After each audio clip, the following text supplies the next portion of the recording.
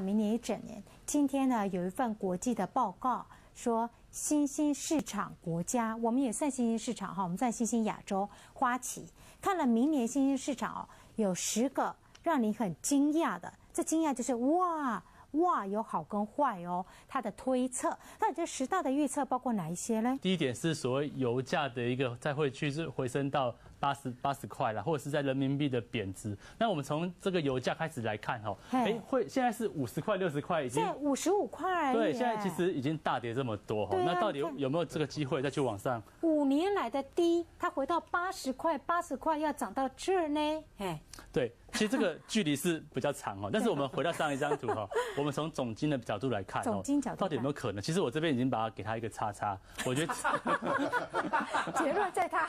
好，老师打叉叉，好来。我觉得机会比较小的原因在于说，第一个总体经济需求，其实刚刚讲到。我们再看第一期还 OK，可是问题是二三四吼好像有点疑虑啊，好，这是第一点。那再就是 OPEC 的部分，他曾经在新闻上公开说，他的油长说，哎，即便油价跌到二十块，我都不要减产。沙对啊，沙地阿拉伯说的。俄罗斯说，俄罗斯是世界的第三大出口国，他说啊，掉到四十块，我也不怕哦，我也不增产哦。两个大的出口国都这样讲。其实这有两个原因，第一个就是说哈，在过去一段时间，其实 OPEC 相关成员国，它油价已经赚的非常的多哦。我即便这半年的下跌亏本，我又怎么样？而且我现在也不过只是少赚而已。对，好，第二个来说就是说哦，目前产油国啊，它的竞争者不是沙地，不是科威特，科威特也不是俄罗斯，嗯是美国的页岩油。这个是《华尔街日报》的重要的资料哈。以上所看到是美国页岩油的开采区域，只有红框框的这四个地方，它开采成本在这儿有没有？五十二块钱比较便宜哦，以下如果掉到三十块以下，这全都趴了，页岩油连开采都不要开采了，因为卖一桶赔一桶啊。对，所以说那这样就让人家很害怕，说油价是不是现在好像还没有到一个落底这样的一个阶段？难怪你打叉叉。对，那我们再看第三点也很重要哈，这个费德如果升息，不管它的是明年上半年还是下半年哈，那这个起码好像是升定这种感觉。那如果说这样的情况之下，美元的一个升值趋势是向上，对，那大家知道。油价是美元报价，美元计价的。对，我分母是一直对不对拉大，那我当然这个分分子会继续往下掉。美元越强，然后期货商品以美元计价的就会一直往下崩跌。对，OK。所以说在油价这一块，我觉得机会是比较渺茫一点。那至于说人民币会不会去做一个贬值，我倒是觉得非常有可能，因为其实整个。入入股在整个这次“十三五”的一个这个内容里面，它主要是放在说我投资要减缓，但是我要去做所谓的金融调控这一块，就是说我要把我的体质调好。那我 GDP 的话，我不要成长到七以上，我可其实六到六点五就可以接受。他明年本来想要保下修啦，然后保七。对，现在大概在六到六点五是可接受的范围之内。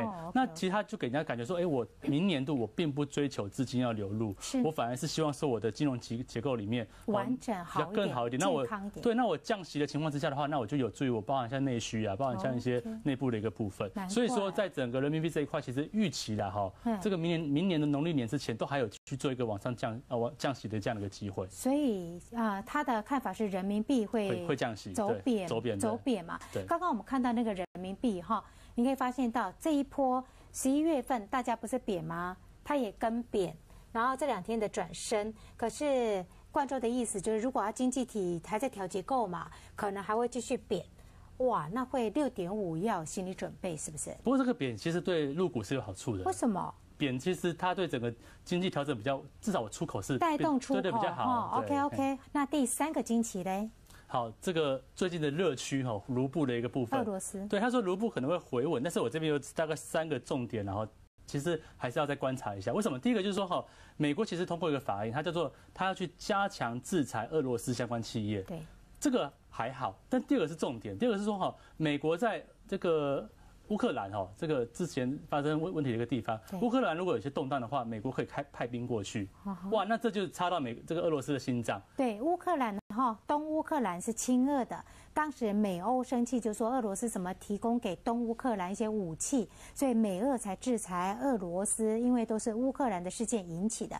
因为西乌克兰是靠近美欧那一块，所以明年还是会继续纷争在乌克兰。对，就是怕说万一乌克兰又有些问题，然后美国又是一个，就是美国跟北约又有一个强势介入的话，那势必会引起两强的一些纷争。好，那这部分卢布的话就可能会稍微有些震荡哦。你看卢布都已经今年来贬了六成四。四了，吓死人了！而且呢，贬值创下了历史新低。只是最近卢布呢由重贬历史新低转升，转升是因为中国大陆跟它扩大换汇，对不对？对。好，拿直接的人民币去跟它换卢布，所以才撑了一下有转升。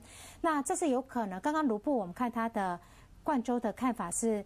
不可能打叉叉。对，因为还有第二，就是说一样是美元在升值这一块，它会使整个新兴市场的货币哈波动变大。然后再就是说哈，因为俄罗斯它也是一个大宗物，就是原油了哈。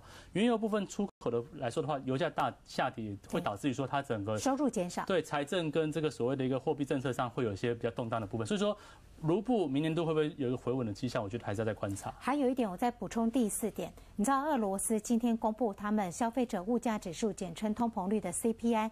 飙高到百分之十点四，吓人了。好，经济有问题。再来，印度降息。那印度它降息是有机会，因为它其实本身一个很大的内需市场。那其实它其实新它的一个莫迪这个总统对不对？他其实对商界是比较和呃比较友善的。对对。所以说降息去刺激它的一个这个所谓的一个出口发展跟经济是，我觉得是蛮有机会。不过这一点我问一下郭大哥啊，印度我印象中它是一个经济体还在往上成长的。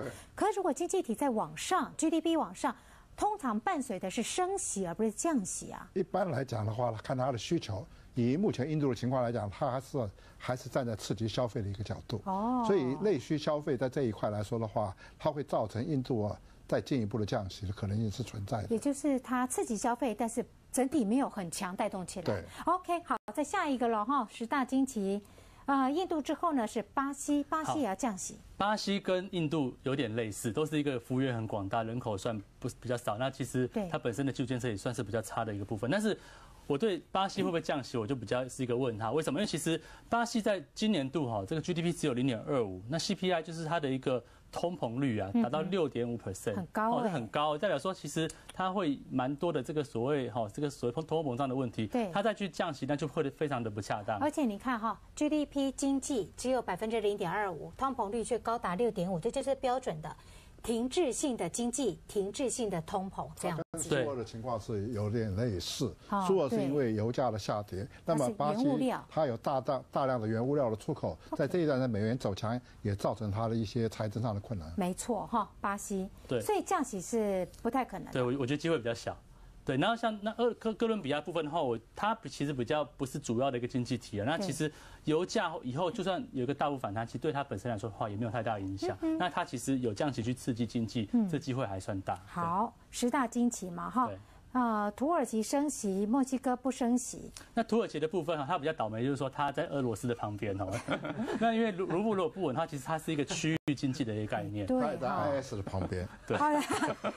ISIS 哦，恐怖组织哦。对，我觉得它就是可能长这个长错长长错地方，我们这样讲。区域性的关系啦。对对。那那墨墨西哥部分的话，其实它不我它比较不会升息，但是我们考量一下哦，美国升息，哎。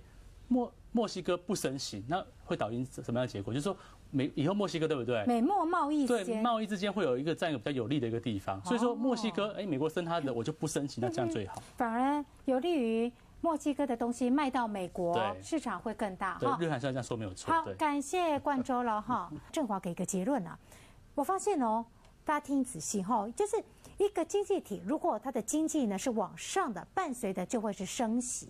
美中国大陆不是降息吗？之前降息，因为他们 GDP 现在有点走下坡。可是我刚刚看到明年新兴国家哦，这些市场降息的，他推论降息的比较多，是不是意味着明年的新兴市场、新兴国家经济体的发展成长还不太稳呢？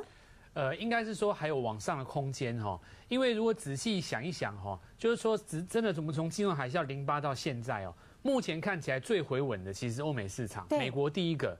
那再来的话，就是说，呃，可能欧洲这一边，对，那我们这一边的话，可能就是说，未来来讲，哦，现在因为包括日本跟中国的政策都倾向宽松嘛，所以未来来讲的话，我们相对来讲可能还有空间。那是不是反应不稳？我觉得反而是，呃，我我个人是比较。属于一种比较乐观的期待啊。正面的讲法。对我的正面讲法是说，呃，至少各国的政府希望自己的经济体更完善。那就会技术措施。还能保持明年六个 percent 的 GDP，中国大陆也能够维持七个 percent 以上。所以从这边来讲，其实没有大家想象中那么差。也对哈，新兴国家、新兴亚洲，如果哈经济不太稳，然后释放出一些政策来救经济，也许也是个利多。与您做一下分享。不好意思哦，时间的关系，这部电影是美国 Sony 拍的，叫什么？名嘴出任务。没错，就是这部电影。可是明明北韩很火大，怎么今天北韩变成软脚虾？回来阿潮说明白哦，因为美国反击了。另外。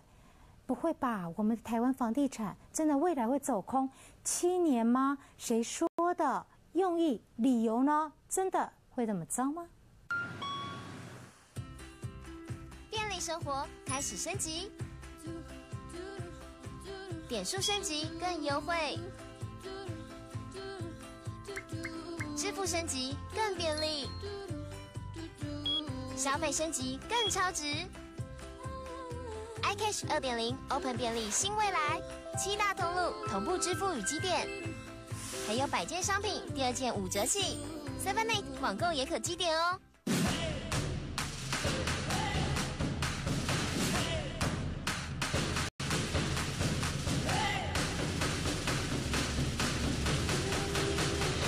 月光岁末酬宾感谢季。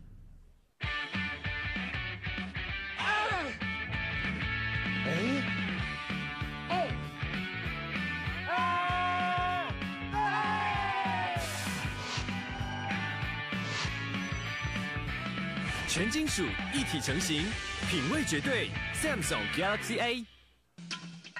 您现在收看的是前线百分百。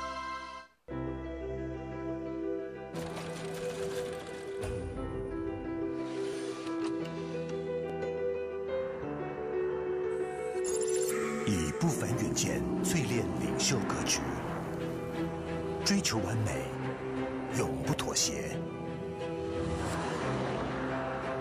奥迪 A 八首席视野，与生独具，进化科技定义未来。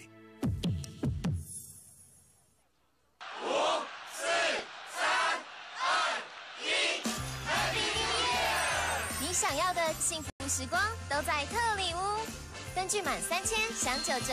特礼物，全款满两千送两百哦。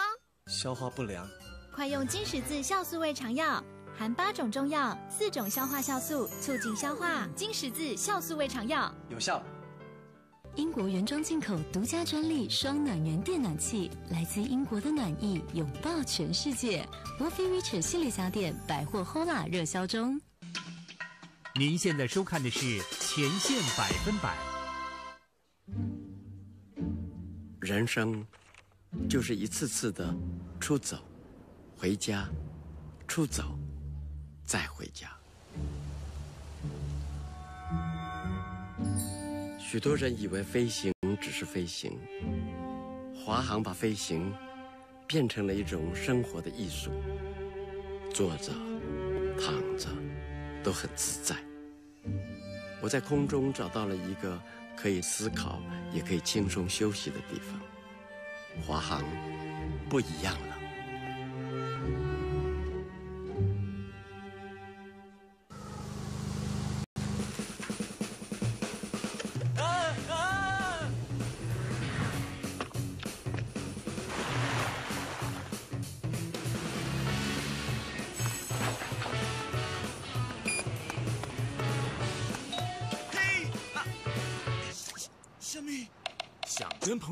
何必这么累？赖旅游大亨及时连线零距离，和朋友一起掷骰子前进吧！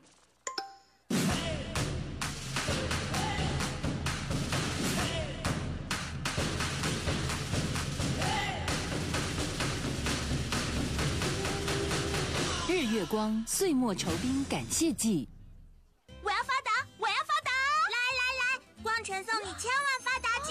现在买光泉有机会抽中千万购物金，抽抽抽百倍现金，头奖独得三十万，年终千万要发达，光泉千万等你拿。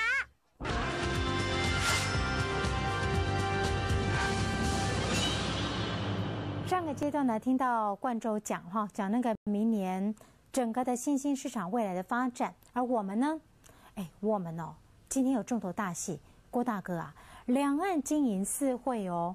在北京展开，我们的经管会曾主委就带队了。对，啊，有没有好消息？呃，目前来讲的话，台湾银行啊，台湾的银行啊，不是台湾银行，台湾在争取什么东西最积极，就是一个所谓的昆山模式。嗯。那么很多投资朋友会问，什么叫昆山模式？昆山模式其实很简单，就是说，呃，台湾银行争取这个，就是说，母公司在台湾向银行借贷的人民币，可以回流给他的子公司去。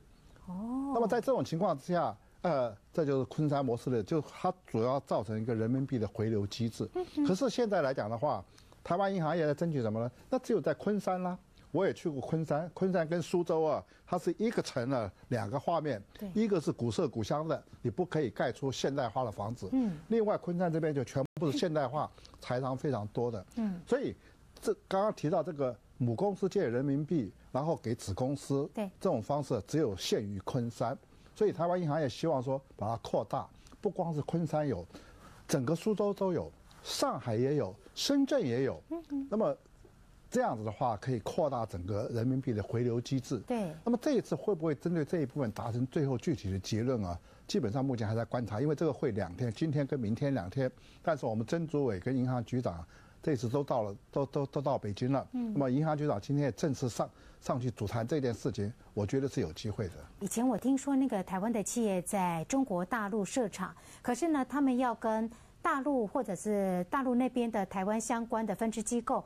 贷借那个贷款人民币的规模没有办法放很大，因为那边的利率非常的高。高嘛？对，所以如果用这种回流机制的话，就我在台湾借，在台湾借人民币，然后资金运用到中国大陆去，嗯，给大陆的子公司，然后利息又低，成本就低。对，成本就低。太好了，这个昆山模式是对于企业是有帮助的。如果呢，这个两岸的这个企业，尤其台商企业呢？昆山模式能够顺行的话，人民币的运用管道更大，那带动它的获利，因为成本降低了嘛，带动它的获利拉高，哎，股价也许就会说话了哈。期待啦，总之现在还在谈了，可是呢，边谈如果真的股价要有所反应，总要有量吧？糟糕，今天的量我刚有说啊，创下了一年三个月来的低量，五百多亿元而已。今天又看到这个数字，你看，M one B 哦。竟然十一月份的年增率来到了十九个月来的低，振华，那资金动能就不见了，因为股市视为股市活水的活出的指标的 M Y B 掉到这么低，为什么？对，这很明显的哦。我们看到十一月之所以这个 M Y B 会掉下来哦，大家太担心当时一些不确定因素嘛。那最主要就是大户条款了。哦。那大户条款，大家在不确定的情况之下，当然这个部分它可能就暂时脱离股市。然后还有一个原因是因为有的时候当然。股票掉下来，然后没有卖，那你当然股票呃资金转到股票去了嘛。可是如果大家仔细看的话，哈，就是说这一次因为这个 M 呃 M two 的部分，因为外资净汇入的关系，它反而是上来的。哦，对哈，十一月份 M two 是高脚上。对，所以我觉得大家要稍微留意一下哦，就是说不要底部又被外资买走了，这个情形有有好几次都发生这样类似的情形。所以换句话说，M one B 只要大户条款抵定之后。不要再尘埃落定嘛！哦，确定之后，应该十二月份的总量出来，M one B 应该也会滚出来就对了。对，我觉得有机会，这个机会还蛮大的。太好了哈！因为呢，这个 M one B 来到十九个月低档会害怕。感谢振华帮我们盯到 M two 部分哦，因为汇入资金外资的钱进来了，因此 M two 有勾脚，因此呢，外资接下来的动作格外重要。快速念过了哦，外资跟投信同买超的标的，好几档都跟前几天是一样的。友达、群创、榜上有名，开发金控、华亚科、开发金最近买盘在这加温喽。同卖的是三档，阳明、长荣航空跟中信金控，与大家做一下分享。接下来也要分享分享这部电影，阿曹说的“名嘴出任务”，本来哦。我先说，他是美国拍的，美国 Sony 影视拍的。结果呢，讲到了北韩，然后金正恩就说：“你敢播？你敢播，我就打你。”结果美国电影业真的没人敢播，拍谁？在今天完全突然变成样，美国三百家电影院要播了。然后呢，北韩的金正恩竟然嘴巴捂起来说：“我我没有要打了，我只是只是。”金正恩说什么？呃，不会有实质的反应。好啊，那为什么就变软起来了？软脚虾，金正恩。对哈，这个一部电影可以导致两个国家如此交恶。这个名嘴出任务呢，其实里面就是讲，哎，在暗杀北韩的领导人金正恩呐。嗯，那你可以看到片尾哈，这个金正恩遭坦克车炮击之后，这个头已经爆掉了哈。而且呢，这个当初这个男主角有考虑很多国家的独裁者啦，最后选北韩是因为怎样？北韩这个国家他们认为哦。这个够怪异啊，而且这个金正恩也是很奇特的一个人啊，因为在北韩呢，啊，这在北韩实际是把金正恩是神化了啊，因为三岁的时候会射击哦，六岁的时候会骑马，会懂懂多国的语言，会跟海豚沟通，靠一张纸就可以过河，结果你用美国这个坦克把它炮击之后，我们的北韩的领导人就挂了。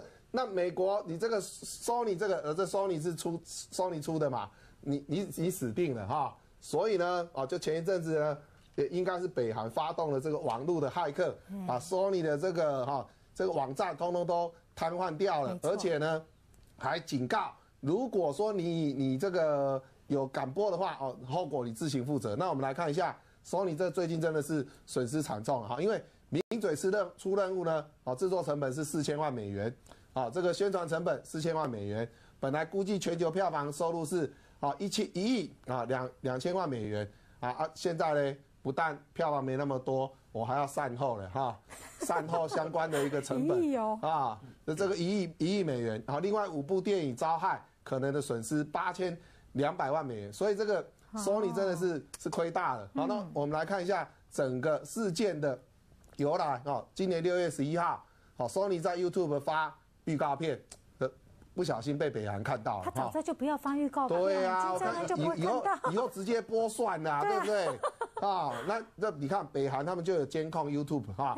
六月二十五号就说你敢播，你就要哦小心有无情的回应，哎，他就会担心啊，会不会是什么九一恐怖攻击啊？或者是他一个什么校园疯狂扫射啊？啊，这个时候你就就怕了哈。那这个十二月一号，索尼说，哎，遭到。骇客攻击啊，受到黑函称怎样掌握公司内部的